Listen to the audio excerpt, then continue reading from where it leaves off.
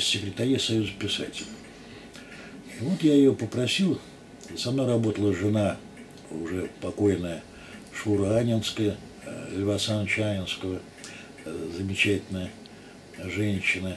И вот э, эта жена, как же его звали, как же была его фамилия? Ну, такой крупный секретарь правления Союза писателей. А тогда, в те времена, это была огромная фигура. Ну, в общем, я как-то поделился с ней своими заботами, тем, что хочу попасть в семинар Петра Васильевича, и она обещала помочь, помогла. Через мужа, естественно, которого я знать не знал. Из гостей семинара, я вот вспоминал уже Василия Ивановича Белова, которого мы с нетерпением ждали, и который Э, которого ожидали увидеть, ну, сказать, после плотницких рассказов про жили-были, после жили-были, ожидали увидеть тоже, по крайней мере, таким огромным мужчиной, а увидели такого тоненького, бородатенького и такого застенчивого, располагающего себе человека, который вошел, я помню, в эту же аудиторию, как мне кажется, и сказал, что да, теперь я понимаю, что такое храм науки. Это, конечно, после здания Литинститута показалось совершенно чем-то иным. А Вадим Валерьянович, действительно, одно из самых интересных заседаний, оно было посвящено рассказам Вадима Валерьяновича Кожаного о Михаиле Михайловиче Бахтине.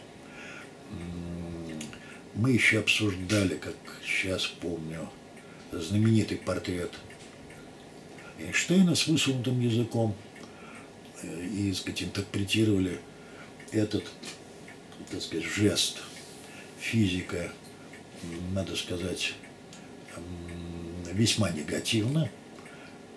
Нам этот портрет не понравился, вот этой вот своей дерзостью, обращенной к человечеству. Но не надо думать, что мы были уж такими какими-то в те годы ортодоксальными, потому что читали мы, слава богу, в большинстве своем очень много, читали очень разнообразную литературу. И еще я очень хорошо помню, что Петр Васильевич приносил на занятия семинара книжки Василия Васильевича Розанова. И вот тогда, собственно, и состоялось. Предоткрытие, конечно, было и до этого. И до этого, когда я работал в Толстовском музее, там была великолепная библиотека. И вот я там очень многие книжки, в том числе такие, ну, интересные для э, для моего тогдашнего возраста «Люди лунного света», «Мире неясного и нерешенного». Все эти книжки с залпом прочитывал, потому что их даже давали домой. А еще я там, как сейчас помню, первый раз прочел «Философию общего дела» Федорова. Ну, много чего из того, что тогда как так в свободном доступе, как говорится, в спецхране только было. Но в Ленинку мы тоже ходили. Так вот, э, разговор с Вадимом Валерьяновичем, конечно, был... Э, ну, Вадим Валерьянович я все-таки не очень близко, но знаю, знал много лет. И бесспорно, одна из главных его черт была увлеченность чем-то и кем-то. Всегда кем-то.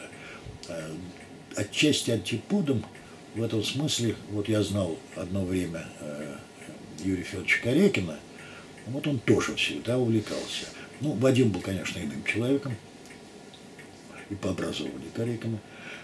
Хотя, хотя в каких-то, ну, я не люблю работы Корякина о Достоевском, они все построены на актуальности, что называется. Современности. Да, на, они горячие что называется. Хотя, конечно, последняя вот перестроечная вот жизнь показала, что Корякин, ну, извините, не очень был умен и, и мудр. Ну, в общем-то, конечно, да. конечно нет. Вообще угу. у нас была такая градация. Вот этот вот знаменитый выпуск Полиевский, Бочаров, Кожинов, Гачев, мы, так сказать, для себя вот этот гамбургский счет составляли, вот Гачев то ли гений, то ли заговаривается, и это бесспорно. Самый умный, бесспорно, это Полиевский. И сказать, по сию пору я с этой оценкой соглашусь, Петр Васильевич всегда был необыкновенно, порой очень холодно умен, что и говорить, очень холодно, но э, блестящий голова, совершенно блестящий. И, конечно, так сказать, образованность у него, он по первоначальное образование американист, он э, все европейские языки у него, я с ним бывал в поездках и просто видел, на каком хорошем немецком он беседует с немцами, ну и так далее, и так далее, уж не говоря об английском. Вадим Валерьянович увлекался, ну, надо потом будет рассказать вам и байку про посещение, по-моему, были... Да, Сергей Георгиевич, это, конечно, литературовед э, в смысле погружения в текст, в смысле интерпретации текста.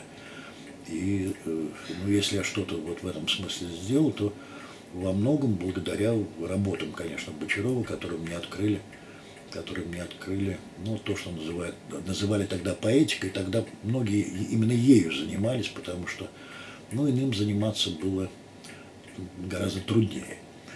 И, э, э, разумеется, а Вадим был такой хулиганисто, хулиганисто ярким, самым ярким, бесспорно, среди всех, хотя трудно сказать. Гачев, конечно, Гена, когда начинал говорить, это, это производило впечатление такое – ликующей пифии. Он э, вещал и вещал.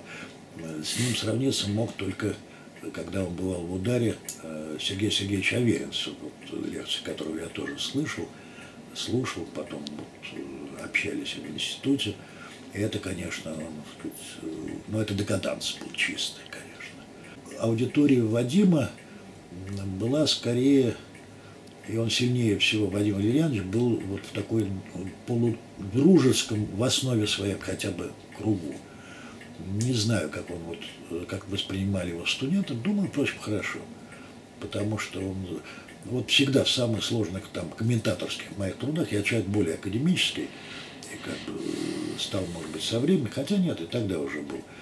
И вот когда у меня, э, я не очень как-то так рисковал тревожить по телефону Вадима Валерьяновича, но если я не мог найти и установить, чью поэтическую строчку мне надо комментировать, я, так сказать, ну, как бы скрипя сердце, я звонил, рисковал звонить Владимиру Валерьяновичу, и никогда не было, чтобы он ошибся, чтобы он даже затруднился. Русскую поэзию он знал такое впечатление, что всю наизусть.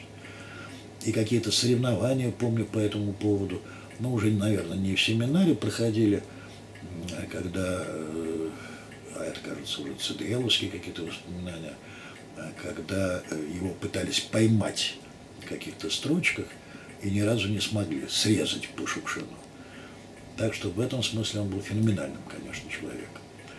Нет-нет, вот самый такой с этим блеском холодный голубой глаз, Вадим перед нами на семинаре, я возвращаюсь к семинару, он просто э, взлетал перед нами, и мы все время перехватывали такой умный, хитрый взгляд Петра Васильевича, направленный на Вадима, но любовный взгляд. Надо сказать, он к нему очень и очень хорошо относился. Ну и вот, вот там произошел тот эпизод, о котором я рассказывал, когда, когда рассказывая, опять же рассказывая об открытии Бахтина, это Корек мне рассказал о том, как он Бахтина в Саранске там спал рядом с батареей, с сверхгорячий. А Вадим рассказывал вот о том, как он открывал Бахтина и тоже ездил к нему, по-моему, если мне не изменяет память. А мне это памятно э, другое, посещение Бахтина уже через Андропу. Да, Людочка моя когда-то э, семинаром Трубинским, когда уже вопрос решался о переезде Бахтина э, то ли в Москву, то ли поближе к Москве, они где-то, то ли в Чепелево, доме престарелых, комнатку для Бахтина – семинаристы чистили, ремонтировали, обои клеили. Но он, к счастью, через Ирину Владимировну, Ирину, нет, Юрий Владимирович, значит, Ирину Юрьевну Андропову, семинаристку Турбинскую, он получил вот эту вот э, свою знаменитую квартирку на первом этаже, дворницкую, где его уже опекала Ляля Мелехова. Однажды Михаил Михайлович захворал, и это действительно характерная история – и, скорее всего, ну, я там был, там был, по-моему, Турбин, Кожанов, ну и стайка, значит, студентов, которых позвали. И мы посещали Кремлевку, ЦКБ, где лежал, значит, Михаил Михайлович Бахтин. И вот я очень хорошо помню, как мы вошли, он, э, значит, там, э, сколько, ну, действительно хорошо помню, мы вошли в какой-то холл, номер, где он лежал. В этом холле на кресле висело какой-то генеральский э, китель э, с этими огромными звездами. И э, справа, по-моему, Михаил Михайлович, а слева вот к этому э, весьма симпатичному генералу, который замечательно нам ответил на вопрос, где Михаил Михайлович, он сказал, ну, как всегда у женщин, сказал генерал. И мы потрясенные, надо сказать, не только мы были как-то так изумлены, но, по-моему, Вадим Валерьянович был изумлен. И мы, значит, отправились, куда нам было указано. И застали картину, которая стоит перед глазами по сию пору. Э, там же надо вспомнить, что в ЦКБ лечились или же просто как-то так пережидали что-то жены и любовницы всех секретарей партии со всего мира. Разнообразные женщины и по, ну, как бы сказал какой-нибудь, ну, не знаю, писатель 20 и по фактуре своей, по конституции, по цвету кожи, и по одеждам. И вот э, мы увидели э, тоже большой холл, ну, это уже, видимо, холл отделения, где стояли такие, тогда они были диковинкой, угловые диваны, по-моему, таким каре. И вот все эти женщины общались между собой, и речь шла ну, совершенно явно о каких-то одеждах, о каких-то, о каких-то нарядах. Они их демонстрировали, надо сказать, в состоянии в таком, ну, достаточно легкомысленном, будучи одетые. А посреди как столбик, возвышался, нет, он, по-моему, все-таки сидел, Михаил Михайлович Бахтин – Э, в казенной, ну, добротной очень, по-моему, халате или пижаме, и переводил, переводил там, так сказать, вот все эти перекрестные разговоры с одного языка на другой. Картина была, конечно, неописуемо интересная, э, потому что, ну, представить себе, конечно, ну, мы все-таки почитали безмерно, конечно, разумеется, и э, Бахтина, и, э, и, конечно, очень забавно, потому что э, там можно было потеряться от вот этих полуобнаженных женских тел, э, и мы, конечно, терялись, потому что там очень эффектные были, как сейчас помню, так сказать, мулатки там какие-нибудь. Вот. И, конечно, от, от этой э, струга такой и э, совершенно спокойной в этом смысле фигуры Бахтина. Э, увидев, что к нему пришли гости, он извинился перед всеми на разных языках и покинул этот, это общество. Да, забавное воспоминание. И, конечно, и, конечно, э, и, конечно... Возвращаясь к семинару. Да, возвращаясь к семинару. Когда Владимир сказал, что Достоевского... Да. да, что проблема поэтики Достоевского, а я же еще успел поработать в Худлите, кстати, составлял именной указатель, что не отражено в первом издании творчества Франсуа Рабля Бахтина. А книжка, по-моему, должна стоять на полке, вся она у меня была исчеркана именно когда составлял именной. До этого. Нет, корректуры, конечно, ушли, но не важно. Так вот, а когда э, Вадим Валерьянович э, в увлечении стал э, говорить о том, что я вот перечитал там три или четыре раза проблемы поэтики Достоевского, ну, я имел дерзость сказать, Вадим Валерьянович, лучше бы Достоевского самого перечитали. Потому что я уже со многими авторитетами не соглашался, и при всей, и слишком модным вдруг становился Бахтин, а ну, по-разному, так сказать, ну, явно от возраста, преимущественно идущим причинам, я,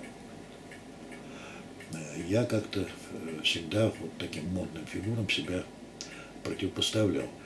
И полифонии, и всему остальному. И потом я помню, что вот тот голос, которым, которым Бахтин, который Бахтин отнимал у Достоевского, голос авторский, я почему-то читаю э, очень, э, ну, со школьной скамьи, по-моему, я любил Достоевского, я слышал всегда. И, может быть, именно поэтому я никогда ничего не писал о Достоевском. Вот именно из-за того, что авторитет Бахтина как-то надавил, и все это у меня ушло. А работу о Гоголе, кстати, ну, тоже не считаю такой уж, такой уж большой. Хотя, конечно, фигура огромная. И, э, и тут Вадим как так, по-моему, первый раз Вадим Ильянович обратил на меня внимание. Хотя это ни к чему не привело. Ну, мы вот общались, я был, по-моему, э, на Молчаново у него несколько раз. и с Еленой господи, Владимировной. Да, с Еленой Владимировной в хороших отношениях. Мы как-то так, э, и она приветлива ко мне, да я к ней. Но, но, чтобы говорить, вот Сережа Непасин, конечно, с ним очень был близок.